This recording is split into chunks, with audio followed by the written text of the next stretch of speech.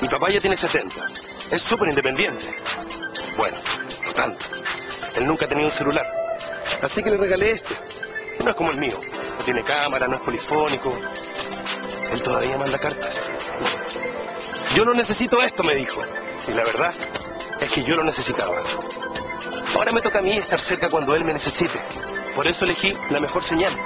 Porque si esto no me falla, yo no le fallo a él. La mejor comunicación necesita una señal de confianza. En el BCS, vivir primero es el futuro.